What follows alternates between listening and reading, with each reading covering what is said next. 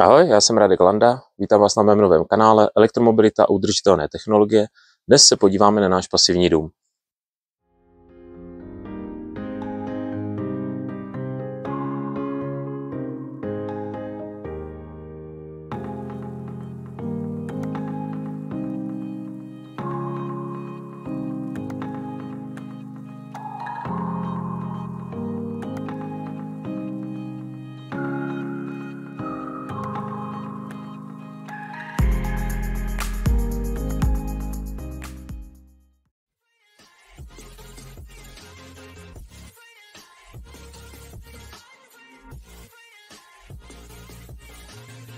Češi jsou skeptičtí k moderním technologiím a moc si s nimi nerozumí, ale když se na ně zvyknou, začnou čerpat svých benefitů a nedají na ně dopustit. Opatrně na to mačkej, aby se to nerozbilo. Umyj si si ruce. Prosím tě, dej mi pokoj, furt už taky. No prosím, teď se mi to ztratilo. Hodně známých a kamarádů se mě často ptalo na zkušenosti s moderními technologiemi, protože vidí, jak dlouho toto odvětví sleduju a všechno zkoumám dopodrobna. Se ženou jsme postavili první dům jako nízkoenergetický a vyzkoušeli v něm, že náklady na bydlení můžou být mnohem nižší, jak bytě 1 KK. Další etapou pro nás byla stavba pasivního domu s rozlohou na 300 metrů čtverečních, když jsme využili zkušenosti z předešlého domu. Je mi jasné, že každý nebude stavět nový dům, jezdit elektromobilem na fotovoltaiku. Ale můžete některé zkušenosti přenést na svoji situaci a u starého domu vyřešit například nebezpečný radon nebo vlhkost ve stavbě. S takovými problémy ve starém domě může pomoct rekuperace, nebo můžete uspořit náklady pomocí tepelného čerpadla, v našem případě země voda. Zmíněný radon je velmi nebezpečný a je to jeden z největších vnějších vlivů, co způsobují rakovinu, která není způsobena geneticky, a to z nikdo z nás nechce pro sebe ani pro své děti. Během stavby obou domů jsem narážel na různá lidová moudra, třeba že beton z profesionální betonárky se nikdy nevyrovná tomu poctivě namíchanému lopatou v kolečku, nebo že polystyren pod fasádu nevydrží ani pět let a podobné nesmysly. Si všechno děláte sami? Ale kde pak? My máme zedníka. Výbornýho. Bere 10 korun na hodinu, není drahý. 10 korun? No. Názor zedníka nebo chlapa v hospodě po pár pivech člověk zvládne.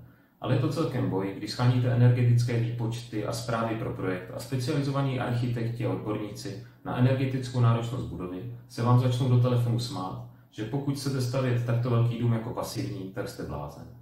Dozvěděl jsem se, že dům by musela být skleněná hermeticky uzavřená kopule, a to jsou doslovná slova jednoho z odborníků.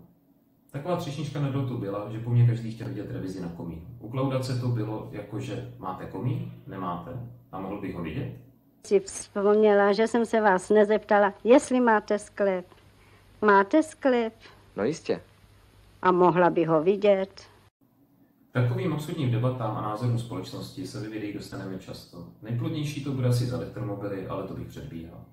Záměrně neříkám, dostaneme se k nepravdám. O tom, co je pravda a co je pro vás nesmysl, si rozhodněte sami. No a nebo to za vás rozhodne Vít Rakušan.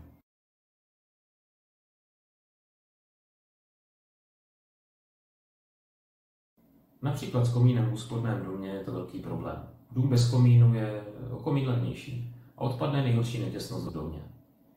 Testem průzdušnosti projde snad jen čídlo Absolut, a to jen papírově. Při Blower testu byste ho museli nejspíš ucpat. Já vám vždy ukážu svoje názory a zkušenosti a vy je můžete aplikovat ve vlastní prospěch. No a nebo se tomu oslovi, co se tady před kamerou snaží, zasmějete, dáte mu nějaký ten hate pod video a půjdete přeložit do Petr trochu uhlí, a si soused užije.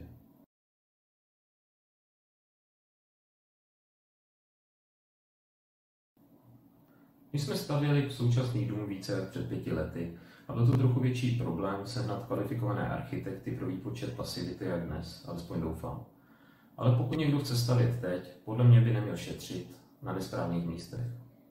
Náš dům jsme nastavili tak, že jsme s celkovými výdaji na energie za rok asi 20 000 plusů, protože více elektřiny prodáme, než spotřebujeme a toto chci do budoucna ještě zdvoj nebo strojnásobit a být za každé situace soběstačný. Při dnešních cenách energií v ekonomické situaci, jaké jsme, si myslím, že je to dobré. Přijde mi velká škoda nevyužít dotace na novém domě 200 až 500 tisíc korun, zhodnotit tak dům a udělat to provozně úspornější. Náklady při stavbě na dosažení pasivního standardu místo nízkoenergetického byly před pěti lety cca stejné jako dotace. I bez cíle dosahovat pasivního domu bych určitě dostatečně zateplil a neriskoval problémy, které obnáší nezateplený dům v mrazu. Parametry pasivního a nízkoenergetického domu a výše možné dotace najdete na zelená CZ. Takové základní pravidla u pasivního domu jsou.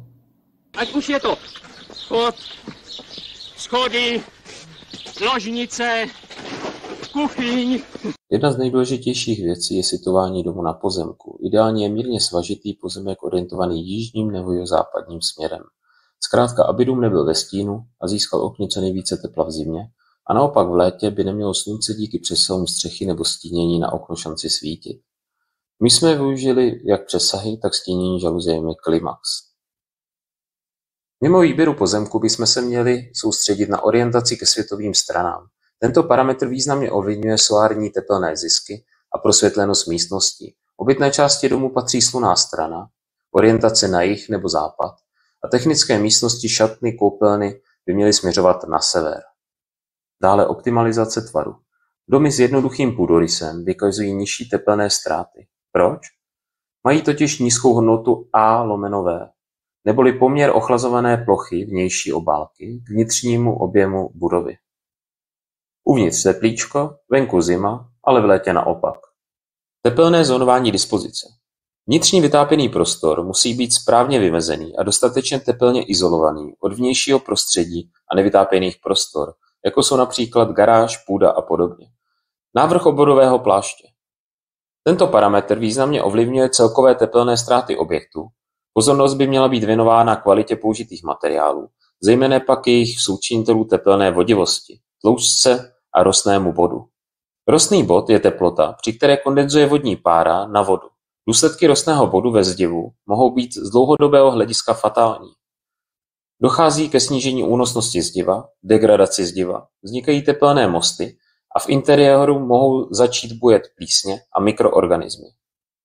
Zjednodušeně řečeno, musíte mít tak silné zateplení, aby rostný bod byl mimo obodové zdivo v zateplení. Většinou se mluví o minimálně 12 až 16 cm polystyrenu. Doporučoval bych 20.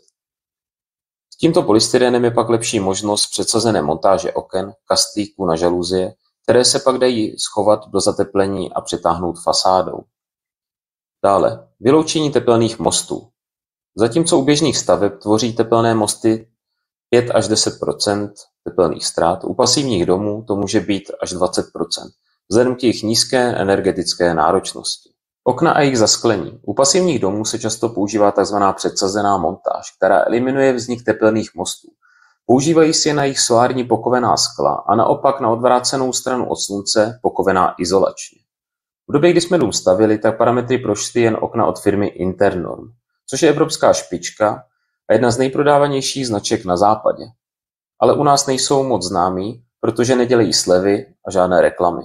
Okna od firmy Internorm jsme zvolili Plast Kov.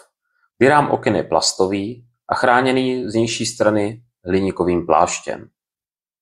Dveře jsme volili hliníkové. Průzdušnost obálky budovy. Celý vnitřní vytápěný prostor by měl být obalený vzduchotěsnící vrstvou, aby se zabránilo tepelným ztrátám. Pro měření neprůzdušnosti se provádí tzv. blower door test. U pasivních domů se řeší takové detaily jako únik tepla klíčovou dírkou nebo HS portálem.